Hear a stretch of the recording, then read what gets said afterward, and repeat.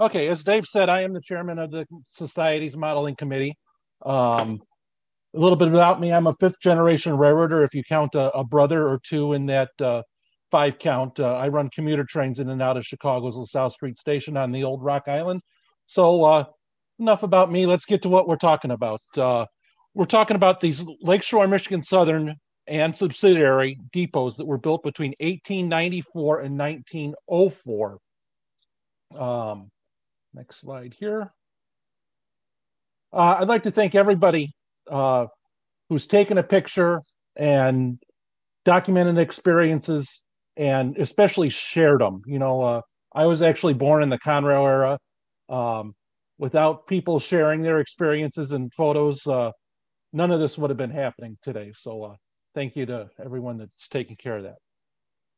So what we're going to look at today, uh, there was two types of brick and stone depots on the Lakeshore, Michigan Southern, and uh, subsidiaries. Um, we're not going to look at the. We're take two seconds and look at the one type, but uh, focus on the second type here.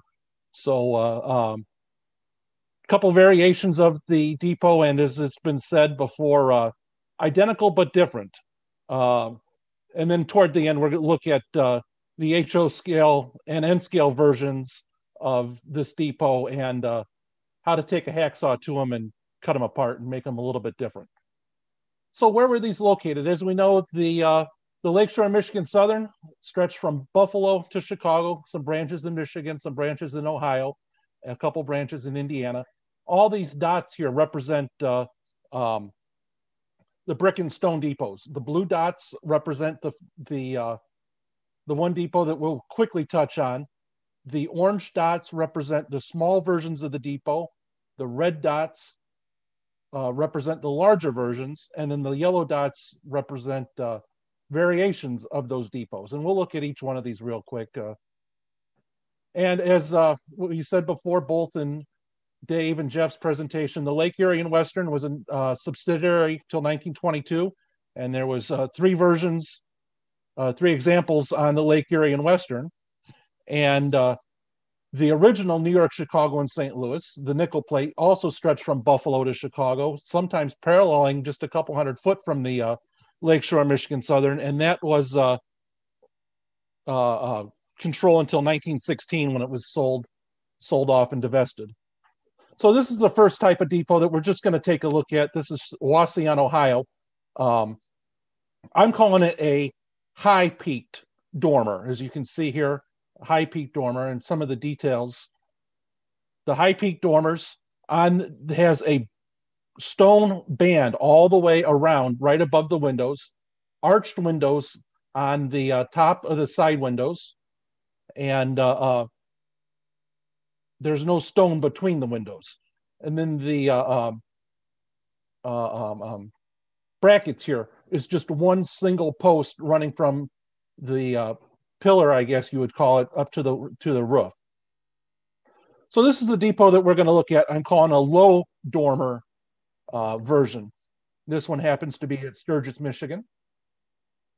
And the low dormer, you can see the dormer is not as tall as the other one with three little windows, a square window and then a uh, arching window in the center. So some of the details that we're uh, looking at here, as I said, stone between the windows. The bottom below the windows is all stone.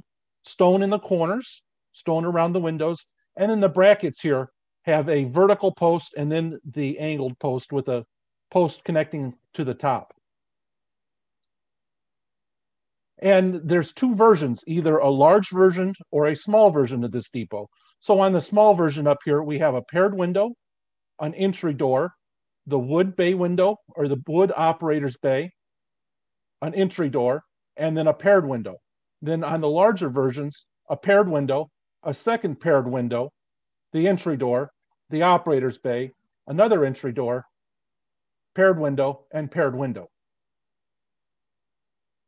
On the ends, got the smaller version, just a paired, uh, a single window and the baggage door.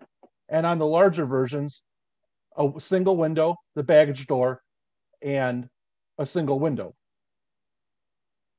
On the, the other end of the depot, on the smaller versions, have two pairs, two single windows, and then on the larger versions, a bank of three windows with stone between where the smaller version has brick and stone between. And then on the street side of the depot, just like the, the front side of the, or the track side of the depot, single window entry door. Uh, this is two high windows for the restroom, single entry door, and a paired window with the large version, paired window, paired window, entry door, um, the restroom, entry door, paired window, paired window. And the difference on the street side here is the smaller depots had this little bump out section where the larger depots, since they were a little bit wider, did not need that. And we'll look at that in a minute here. Actually, this slide right here. This is from uh, the Stryker Historical Society. And you can see a general waiting room on one side, the ticket office operator's bay in the middle, the men's restroom on one side, the ladies' restroom on the other side, connected to the larger waiting room, and then a, a men's waiting room on one side with a little baggage end on the other. So you can see an entry door here into the men's waiting room, entry door here into the, the general waiting room, and same thing on the street side of the depot. So our first example here is at Westfield, New York, uh, 58 miles from Buffalo. Uh, this is about a 1915 depot, uh, or sorry, 1915 photo. Uh, this depot was built in 1904. Um, we'll look at here in a minute. Uh, earlier postcard. This depot is different from all the other ones, as it had a interurban. The uh, Jamestown, Westfield, and Northwestern ran out of this depot from 1914 to 1950. And then you can see here the Chautauqua traction on English Street, also in front of the depot. Another view, this one looks, uh, I believe, east with the Chautauqua traction in the in the front. And again, another street side view.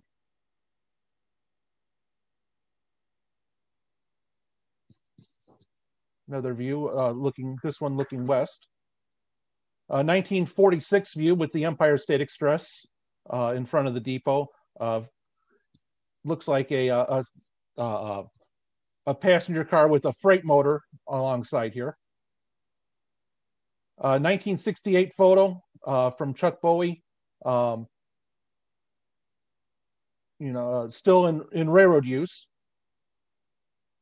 But here's a modern photo. Um, this one differs as you can see here, the passenger end, but on the, the freight end, instead of two paired windows, it actually has an extended baggage room for, uh, I believe, for the interurban. So paired window, paired window, entry door, entry door, paired window, but then single window, baggage door, and single window. The the track side looks almost uh, the mirror to this, with uh, the end being the same as a uh, a standard single window door, single window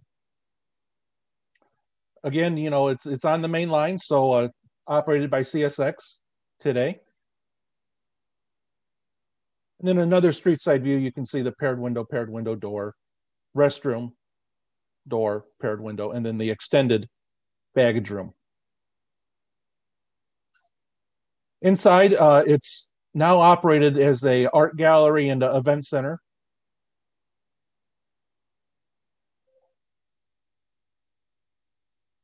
Moving on uh, about uh, 15 miles further west to northeast Pennsylvania, we have a standard short depot, smaller depot, postcard view. Again, the uh, Empire State Express passing in front of the depot. Again, the 1971, uh, I believe it's a Chuck Bowie photo. You know, baggage cart still on the, on the platform.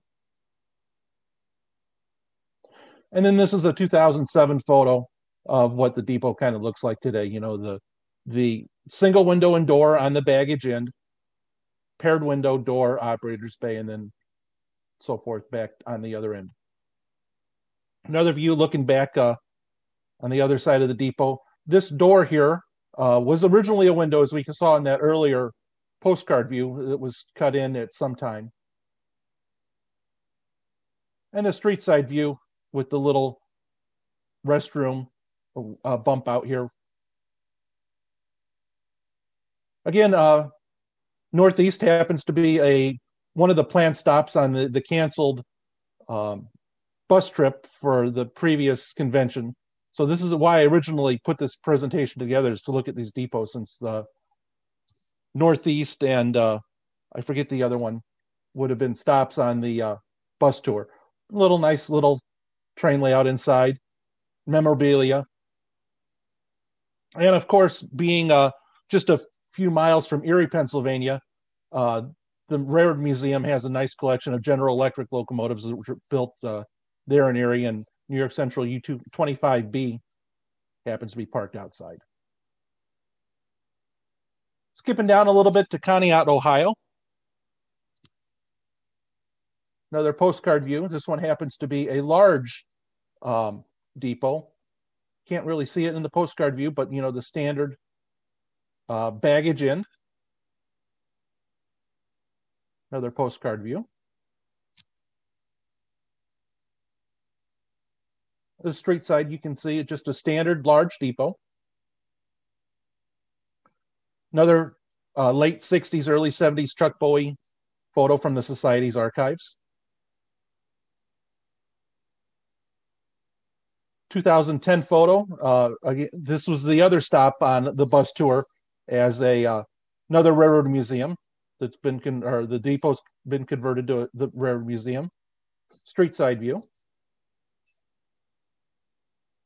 And uh, Conneaut being a large nickel plate steam shop and division point, uh, nickel plate Berk is uh, parked outside. A little further down the line, uh, milepost 137, Geneva, Ohio. This one happens to be a large depot. Let me check my notes here. Yep, uh, this one was built in 1900. Uh, the, uh, what I forgot to mention is uh, the baggage sides varied on the left and the right. This one happens to have the baggage side on the right, the waiting room, the large waiting room on the left here. Uh, northeast going back there a second, had the left side baggage, and uh, Westfield had the baggage on the right hand side. Another view of Geneva. Um, let me look at my notes here. Built in 1900. There's no known photographs that I found of a street side of this. Uh, thing I forgot to mention earlier is with the the gable of the the uh, um, not the gables, the uh, uh, dormers. Most of the depots had dormers on the track side only. We'll look at a couple examples. Uh, Westfield had one on the street side, but uh, most of them only had the dormers on the track side. So, um, where are we at? We're at Geneva. I was not able to find a photo of the street side, so I can't tell you if this one had a dormer on the street side or not. Unfortunately, this depot was razed in about 1968, so uh, we can't uh, tell. Down on the Oil City branch uh, in western central Pennsylvania, uh, milepost 7.9, another large depot. Uh, this one happens to be built uh, in 1901, and it had a trackside dormer only. There's no dormer on the street side, and the baggage end was on the right hand side of the depot. Another view of the of the depot looking the other direction. 1968 Chuck Bowie photo. You can tell that the windows have all been boarded up and uh, probably converted to a maintenance away office for the track inspector or uh, um, track crews. 1999 photo. Uh, I think this happens to be about the the last uh, decent photo of the the building as uh, a daycare has purchased the building, uh, this 2015 photo, and has had an addition added to it. Looking at a Google satellite view, here is the actual depot and a daycare addition over here and a daycare addition over here. And this whole area here is fenced in uh, for the kids to play in. So uh, the depot is not look like it did in the in the past. As uh, Moving to the other side of uh, Toledo to Delta, Ohio, milepost 318 on the main line, we have a, another standard small depot. Uh, Delta, I don't know when that one was built. Uh, it's got the trackside dormer on only, and the baggage is uh, on the right hand side.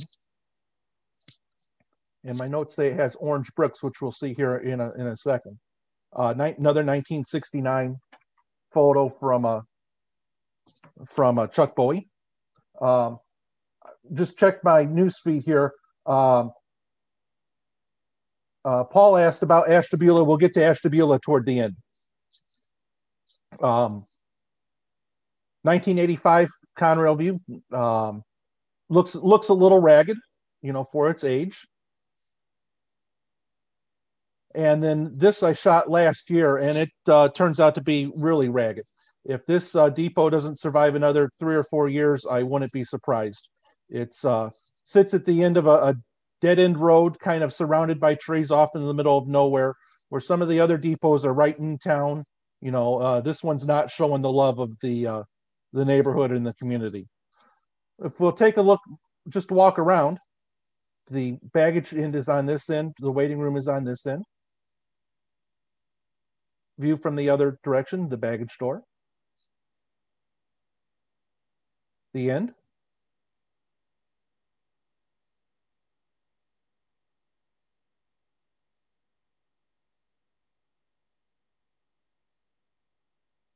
Uh, moving a few miles down, 20 miles down to Stryker, Ohio. This depot was built in 1900. Again, it's got the trackside dormer only, and the baggage is on the left-hand side.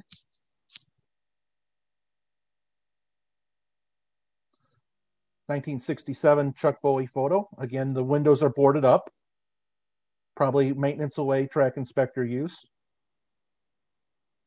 But this depot happens to sit uh, on a busy in-town road, and uh, it's been nicely restored by the Stryker Historical Society. Just a quick walk around the depot.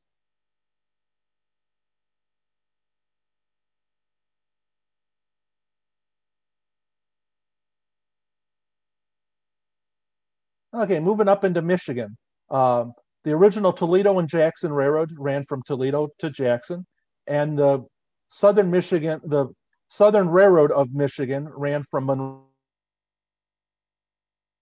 Monroe, Michigan, uh, it ran out of money in uh, the Hillsdale area, where the two crossed is Lenawee Junction.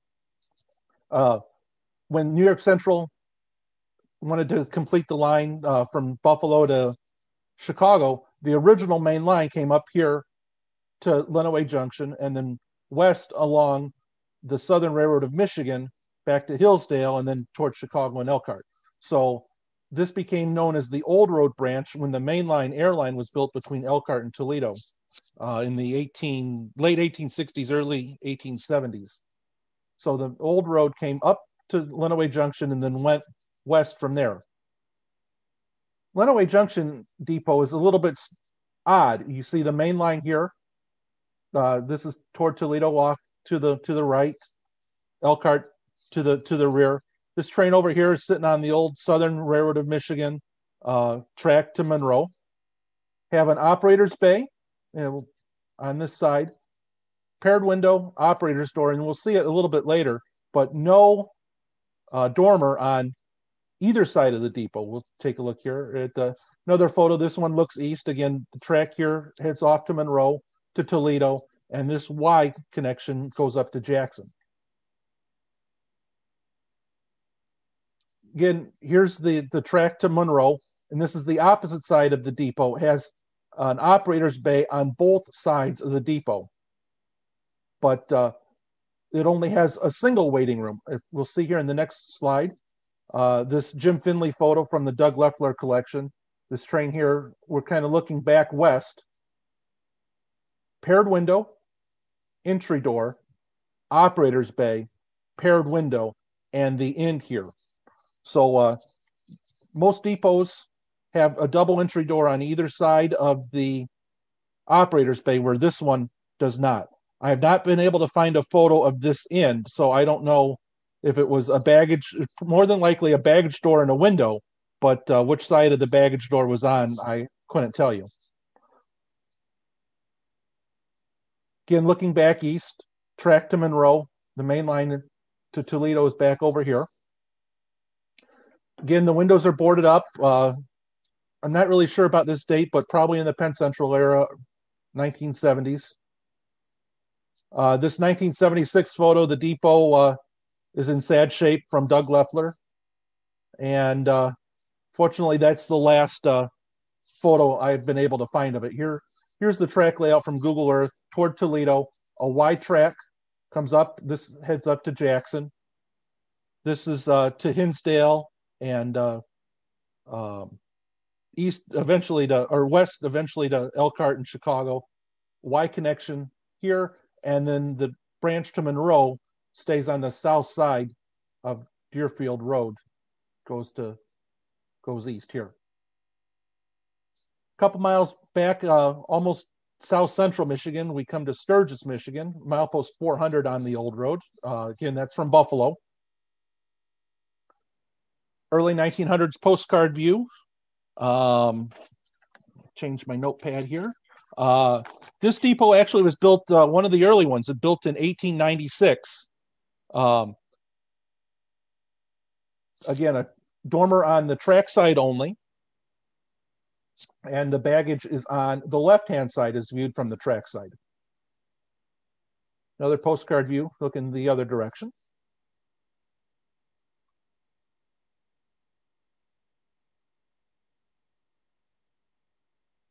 in Sturgis, the uh, Pennsylvania subsidiary, of the Grand Rapids and Indiana crossed. Um, so the tower controlling the uh, crossing is we're looking at looking back east toward the depot. Uh, probably have a, I believe that's an H46, a 280 or G46 280 coming on the uh, connection track here. 1970 Chuck Bowie photo. It looks at halfway in a halfway decent condition. 1984 photo.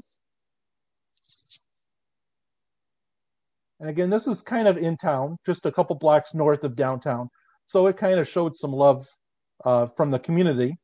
And in 2014, it got jacked up and and moved to a, a nicer location on on uh, the main street in town and its current location. When I first visited in 2014, I went to the location and saw a pile of uh, foundation rubble, and I'm like, oh no, they tore it down. Well, turns out they moved it about four blocks away, and it's been nicely restored uh, by the historical, the Sturgis Historical Society. We'll just do a quick walk around. You know, the baggage, the baggage end, the waiting room end and uh, the historical society put uh, uh, historic photos in the windows. So that's what you're seeing here is historic photos from uh, from the county in the windows.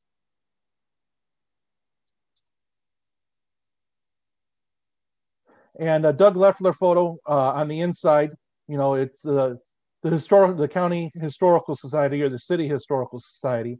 Uh, you know, trying to tell the uh, the history of the, the town. So, you know, the railroad and then, uh, you know, pre, uh, pre probably statehood photos. So it's, you know, it's a true historical museum. About 15 miles down the road on the old road, we come to uh, White Pigeon, Michigan. Uh, this one is the earliest one built in 1894.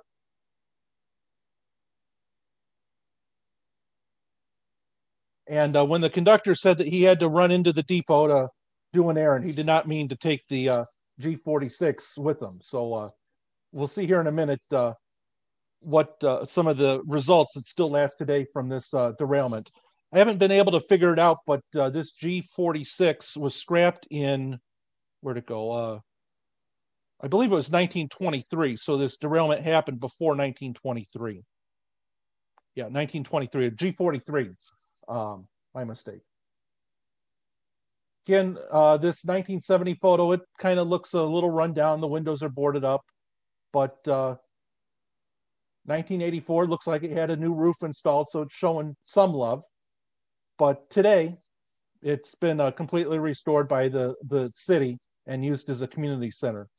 Going back to the derailment here, we can see the yellow bricks on some side here, but then gray bricks on the rest of the depot. So the entire front end, all the way up to the paired window, has been rebuilt from the derailment damage.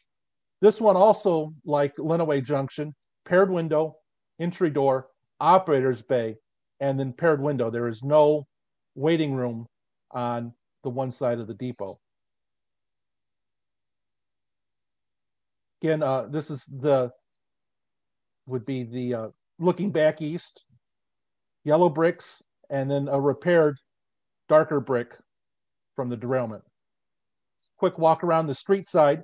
You see no entry door, but a single window instead of a paired window on, on the street side of this depot. Then you can see the different color bricks from the yellow and the gray. Uh, moving a little further down, this time uh, we're just west of Elkhart at Mishawaka, Indiana. Milepost 432 on the main. A um, little bit different. Originally, um, if you go back to 412 to 432, it's not 20 miles difference. It's more like 40 miles. Um, the originally the uh, uh, both of them are from Buffalo. Both mileposts are from Buffalo. The airline between Elkhart and Toledo is a lot shorter by about 20 miles. So that's the uh, difference in the mileposts. Mishawaka 19, uh, postcard view. It's a short depot, standard features. No dormer on the street side of the, the depot. Another postcard view. Again, the uh, the uh, the baggage room is on the left hand side, as viewed from the track.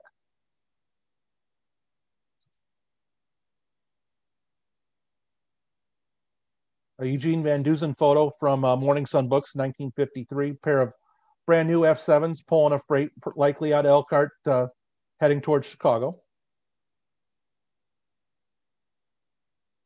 1963 photo. Uh, unfortunately, right after this photo, uh, in the 1970s, this depot was razed. Moving to Indiana Harbor, milepost 502 on the main line. Indiana Harbor was also the connection, the junction from uh, the Chicago, Indiana, and Southern, uh, sometimes known as the uh, unofficially the Egyptian line, running from Indiana Harbor down to Danville early postcard view. It's a large depot with a dormer on the track side only.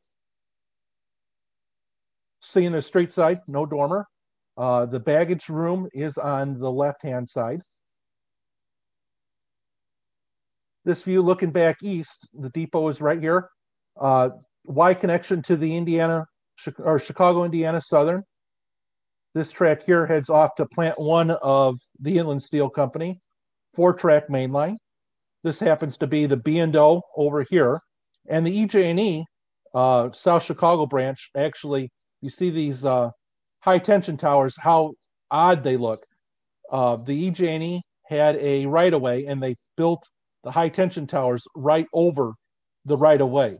Uh, these happen to power the South Chicago plant of US Steel, where the generating plant was in Gary, about 15 miles away. So uh, 15 miles, they uh, sent power from the power plant in Gary to the plant in uh, South Chicago. So uh, that the the high tension lines were built right on the EJ&E right away. So that's the odd look of those towers. Another 1954 Eugene Van Dusen uh, photo from Morning Sun Books. I put this photo in here to, to give the idea. The depot sat right here in the middle of the Y. Y connection, the train 63, I believe it was, the Egyptian from Chicago down to Cairo, would have taken this Y. Um, y connection heading east toward Elkhart. The main line, the B and O, is now abandoned, which was right in here. The EJ&E up here, and then the massive inland steel plant two on the north here. Uh, this depot actually had a reverse commute uh, commuter operation. Um, all the way up until World or through World War II, a lot of the employees of the steel mills and refineries of Northwest Indiana um, would lived in Chicago and they would take the New York Central to Indiana during the day, get off here and go to Inland Steel and uh, the, the other refineries and steel mills. Um, some of the trains up until the 1940s actually turned here at Indiana Harbor and went back to Chicago, and then another few of them continued another 10 miles to Gary, and then another 15 or 20 miles to my hometown of Chesterton, Indiana. The nickel plate, uh, the New York, Chicago, and uh, St. Louis, as we said before, was uh, New York Central ownership until 1913.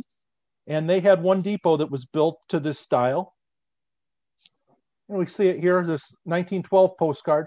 This depot was different because it had canopies on both sides of the depot. You can see the original nickel plate wood depot just the next block over. Another view looking back the other direction, canopy on the other end. This 1950 Harry Zimmer photo, uh, another nickel plate Berk passing the depot. And this 1976 photo, uh, the depot's in a little rough shape. I believe it burnt in 1980 and then was razed soon after that. The Lake Erie and Western ran from Sandusky to Peoria, and at Lafayette, it crossed the Big Four line from down here Cincinnati, Indianapolis, and then from trackage rights from Kankakee into Chicago. So if you're in Lafayette, to where I worked for three years, they didn't call it the Lake Erie and Western Depot. It's been known as the Big Four Depot because more central trains ran on or stopped at Lafayette. Uh, going to this map over here, the, the Lake Erie and Western and the Big Four shared track joint trackage from Altamont, which is on the southwest southeast side of Lafayette, to Lafayette Junction, where they cross the Monon and the Wabash, then over the Wabash River through West Lafayette and to Templeton, where the New York Central continued up to Kankakee and Chicago, where the nickel plate continued toward Peoria. This early view of the depot at Lafayette. It's a large depot with uh, two paired windows on each end. Another postcard view. Now, Lafayette differs a little bit. Uh, this 1971 view of the James Whitcomb Riley uh, under Amtrak control, stopping in front of the depot. As I said, Lafayette differed a little bit. This is the street side. It had a dormer on the street side, but instead of the raised windows for the restrooms, it had a center entrance door with restroom windows on each side of the center entrance door. So here's the one paired window on this side, a window, single window center entry door, and single window, and then another pair of paired windows on, on the other side here. Uh, in 1994, part of railroad relocation in Lafayette, uh, removing three miles of street running on the Monon and almost 40 grade crossings on the Wabash.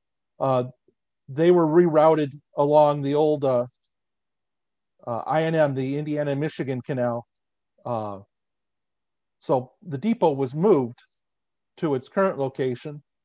We see the rerouted Monon tracks here and the rerouted Wabash tracks with the depot sitting as a, kind of a, a transportation hub for the city. Both Greyhound city buses stop here and then Amtrak stops along the old Monon. So on the street side, it's used as a uh, community event space. Uh, a lot of community gatherings, uh, bands, and uh, on the weekends uh, up until uh, this past year. So let's do a little recap. Northeast of the short depots here, Northeast had a right side baggage. Delta also a right side baggage with orange bricks. Stryker a left hand side baggage with orange bricks. Lenawee Junction right side, no dormers on either side. Um, I gotta move my little view here. Uh, had operators view operators bays on both sides, and it only had one entrance door per side. Sturgis, the standard left-hand side's baggage. White Pigeon, uh, no entry doors to the left of the operator's bag or the operator's bay. had yellow bricks. Oh, with uh, with uh, White Pigeon, I forgot to mention. Uh, all the depots had stone on the bottom, except for White Pigeon, had brick and stone on the lower, and then the derailment damage, yellow and uh, uh, kind of yellow gray bricks. And in that derailment damage, the in baggage door was built uh, as a four foot door instead of a five foot door. And Mishawaka had the left hand side baggage. The large depots, Westfield had the extended uh, baggage room, a street side dormer uh, built with gray bricks. Conneaut, Franklin, and uh, Geneva all right hand side baggages. Indiana Harbor Belt left hand side, or Indiana Harbor left left hand side. Hammond right hand side with canopies on both ends, and then Lafayette the right hand side. Uh, on the street hand the street side of the depot, a single centered door with a street side dormer. Uh, Ashtabula, uh, one, one of the first variants that we're going to look at. This is the street side view with the streetcar in front. You can see here, there is no paired windows. They're all singled windows. And you can see on the roof here, the operator's bay is an extra large operator's bay that kind of sticks out. Uh, uh, this is the street side, so there's no operator's bay, but uh, we'll see here in a minute. The track side, single window, door, single window, single window, door. And then this window here is at 90 degrees to the wall, and then parallel to the tracks, window, operator's bay, and then repeated as a mirror on the other side of the depot. This 1919 uh, valuation photo uh, kind of shows all the details. And then on the ends, instead of a bank of three windows, single window, single window, single window with bricks between the windows. Uh, they had a separate baggage house that was built with the same style of uh, you know, same construction, same uh, um, roof roof supports, baggage door, window, baggage door, window. Another street side photo. Trackside postcard photo from 1908. another 1969 Chuck Bowie photo showing both the depot and the baggage house.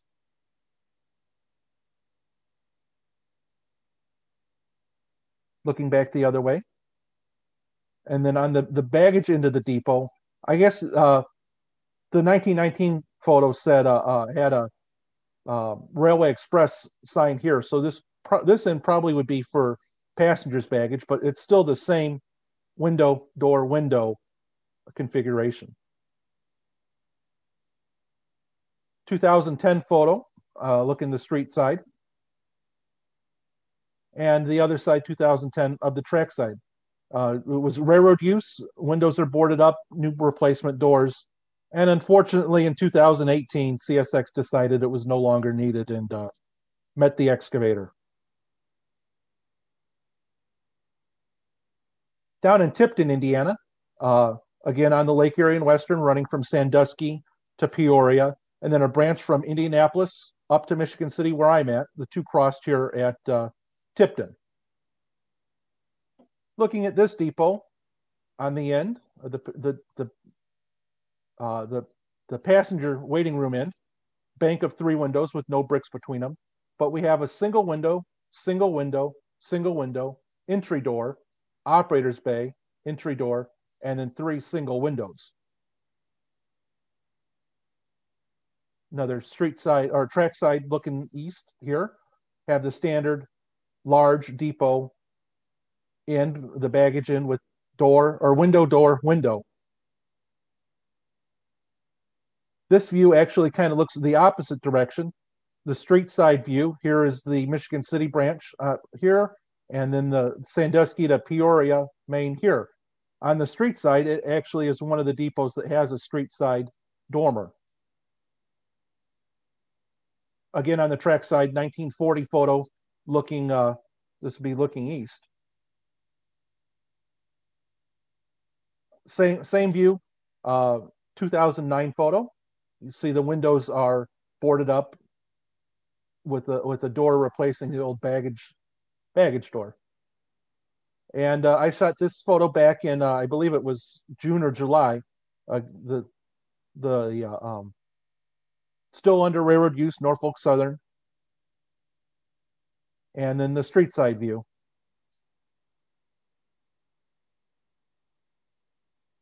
All right, moving to Elkhart, Indiana, division point for the Western Division. First glance, it doesn't look anything like a standard depot. Well, if we look at uh, some of the details here in a second, it had an attached baggage house. Uh, this is probably a late 1940s photo. And then uh, probably a mid 60s photo. The baggage house has been removed and the uh, canopy still connecting the two has been shortened here. But if we look at it, here's the street side view. While the dormer is not quite the same, it's got the same features, but then the windows are, are the same. And we'll take a quick look, walk around the, the depot. So the National New York Central Railroad Museum, uh, no affiliation with the uh, society, is across the main line. So the trackside looking east. And again, the standard windows and doors and the operator's bay. This one happens to be a little bit wider than your standard operator's bay, but uh, still the same details added, or the same construct, the architectural details that appeared on the standard depots appear at on this depot.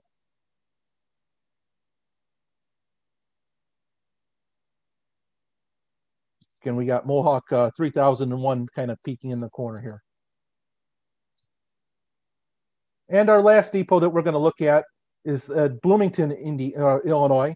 It's kind of on the west end of uh, uh, the Lake Erie and Western. And this was a joint depot with the Peoria and Eastern as well. Again, what's uh, it doesn't look like a standard depot except for the dormers. And this one had two dormers on the track side. The uh, roof brackets are different, the windows and doors are different, but uh, I included this one because it has the same identical uh, dormers. The Peoria and Eastern track on the right, the nickel plate track on the left.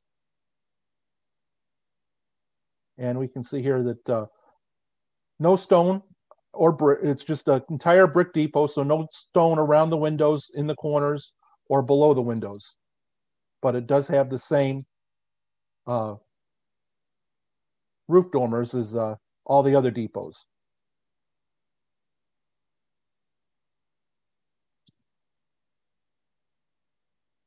Again, uh, depot was boarded up and it has since been razed. It's at uh, right in this area here. All right, uh, getting on to the modeling portion, uh, the Society commissioned with the N-scale architect a model of a brick and stone lines West Depot. This is a, uh, besides being uh, produced by the N-scale architect, it was produced in both an HO and N-scale, and it's available through the Society today. The street side view, uh, the model happened to be uh, modeled after Lafayette. Uh, that's just the plans that we ended up with. So the model does have a street side dormer and a single entry door with the windows. So it's uh, really based at Lafayette. But uh, if you put the track side against the or the the street side against the back of your layout and have the the front side, uh, the track side view, you wouldn't know the difference. When you open up the box, it looks like a, a bunch of plywood uh, laser cut goes together quite nicely. Uh, except what I did with the kit that I had. Uh, in the two recent issues of the New York Central Modeler, I showed how to kit bash it. Uh, we took the large depot and, like the Price is Right game squeeze play, we pulled a couple sections out and squeezed the depot together. So the ends got removed. So the end detail here became the detail on the end of the uh, the window here. Uh, on the street side, this door or sorry, this window was converted to an entry door. Then I reworked the entire uh, restroom side here, again on the other side. And then on the street side, it just got compressed. And on the ends here, we removed a section of the wall, squeezed it together again up here, uh, converted it from a triple window to uh, two single windows. And as uh, the the the restroom area here, this happens to be northeast, uh, built a uh, bump out for the the restroom. Here's like the inner walls. Here's the restroom bump out, just made with a uh, um, basswood sheet, and then cut a new piece of N-scale architect brick uh, brick material. So these are the four the the four walls when I was completed with uh, completed the kit bashing. So a rebuilt restroom area. Uh, this happens to be the street side. The end wall on the baggage end, the end wall on the waiting room end, and then the wall for the uh, the track side. So when it was all put together, uh, I didn't know how to do the roof. So the roof was built from um, basswood sheets, uh, completely rebuilt, and then used the um, uh, the uh, the the roofing material that came with the N-scale architect uh, kit. So all this was detailed in this past issue and the second past issue of uh, New York Central Modeler on how I did it. So uh, I took the kit uh, to our min- our last in-person meeting in September of last year and uh, shot it in front of the depot at Delta, Ohio. So we have the the depot of Delta, Ohio in the background, and then the model that it represents in front. But before I did it, I took some photos uh, on a little diorama that I built. And uh,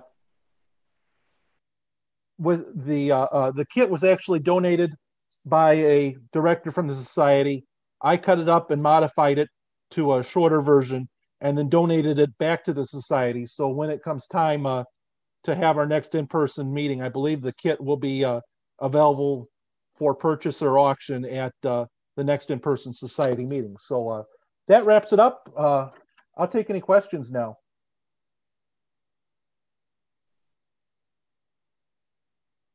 Seth, we have one question out there, which is from Paul. And he wants to know any idea what drove the decisions to have different designs at some locations?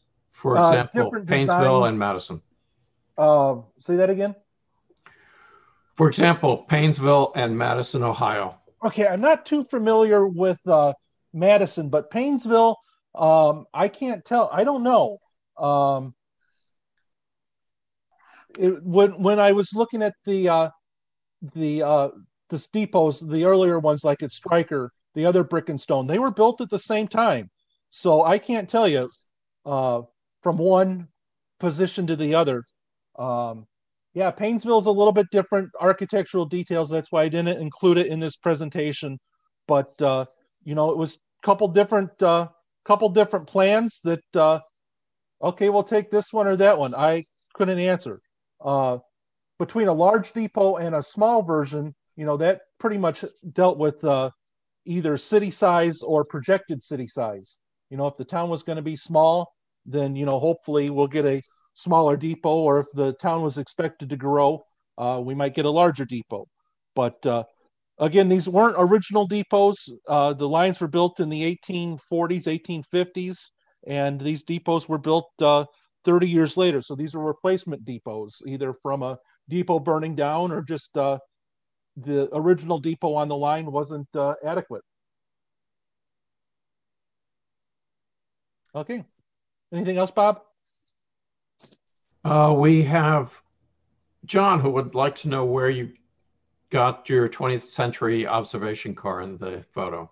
That uh, Century observation car is a um, Eastern Car Works. Uh, who had it before? Eastern Car Works kit that actually I picked up at a hobby shop uh, um, a couple years ago and just used it on a. You know, I don't know who built it, but it's an Eastern Car Works. Uh, the name's eluding me now, who had the Eastern Car Works line before, but uh, that's where that car came from. It's uh, Island Series observation. Um, right, E&B Valley. Thank you, Alex. Uh, uh, the car was, uh, I believe it was uh, pre-decorated, but the the Pullman name and the island name are decals on it. But uh, I bought it that way. That's uh, what I can tell you about it. Okay. Alex has roof question. Uh, where did that? Uh, okay. It just says roof question. Uh, did the breaking? Oh, breaking the roof lines line up with the bottom of the dormer. Oh, I remember going through this myself. They did not. Uh, the the bottom of the dormer was actually set uh, below the break in the roof. Um, the the model actually um, represents that. It sits a little bit lower. I believe the front of the dormer lines up with the front edge of the the wall. So um, the the break in the roof or the bend in the roof sits a little bit higher than uh, than the front of the wall.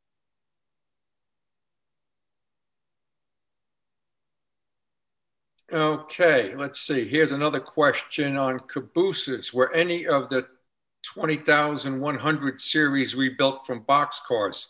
If that's the lot 732, which I believe it is, yes, they were. Yes, all of them, 36 foot, right. uh, 36 foot boxcars.